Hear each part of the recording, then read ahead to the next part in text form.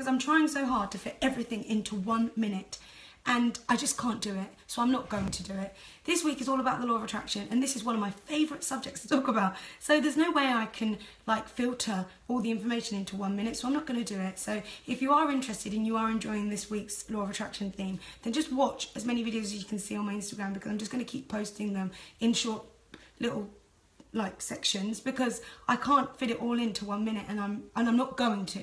Okay, so we spoke on Monday about the law of gravity that we all accept. Gravity, we can't see it, but we know that it happens. Then we spoke about the law of vibration, that everything around us is vibrating at one speed or another, and you can verify that with the microscope. So this time we're going to talk about the law of attraction and how you can make that work for you. So, we all have a magnetic force field around us that pulls things into us because we're magnets. So, what you think about comes into you, and I'm going to explain exactly how that is in the next video.